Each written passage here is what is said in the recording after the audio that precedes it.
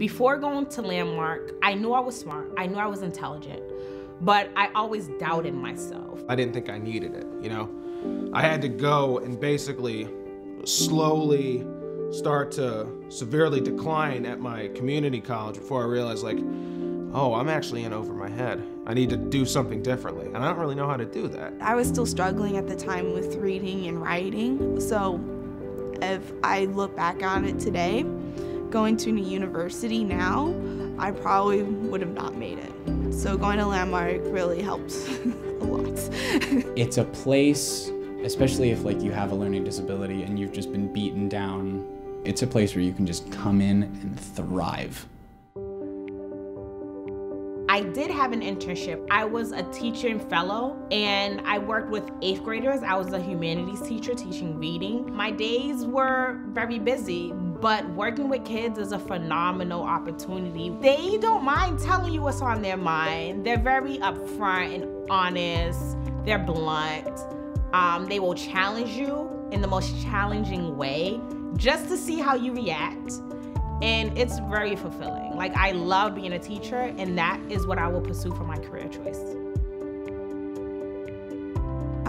Heard that there was an Irish study abroad and I was like, oh my God, I want to go. It was like, okay, you are going to Ireland because, as you can probably tell by my name, um, my dad is from there. I was learning all this new stuff, not just about, you know, being in Ireland, but also the history of it. And it was a positive learning experience. It was a positive social experience. I was actually able to get my work in on time. Uh, I, for some reason, I was able to learn all these great things and was able to improve my time management skills. It was the first time I had ever been out of the country. So it was this really cool moment that I was able to go, okay, I'm completely on my own here.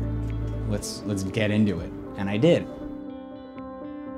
The ability to come here, I think, is a, is a big deal, you know, and money is an obstacle for a lot of people. I think it's phenomenal that someone believed in someone like me. A lot of us that go to Landmark don't see that in our everyday life. I'm very appreciative for what they have done for us, and I would want them to know their money was put to good use.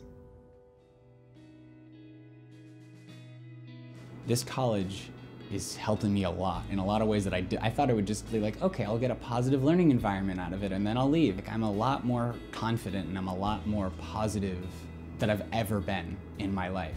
Landmark just showed me I am my own person, that I shouldn't fear my differences. For that, I am a college graduate.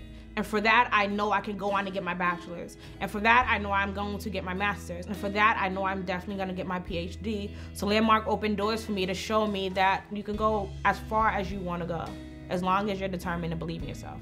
I think a lot of students at Landmark can appreciate this.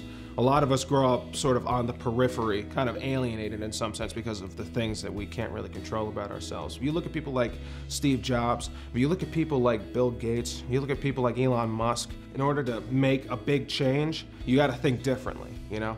And the people at this school are the exact type of people who can go out and do that, you know? And I think for people here, having the chance to, you know, have that weight reduced can not only do massive good for their lives in the long term, but could potentially also have massive effects on all of us way down the line. Because, you know, for all we know, the next, you know, the next Elon Musk is here right now. That is something that's invaluable. There's really no other place like this. And if you're gonna give this place for any reason, I think it would be that.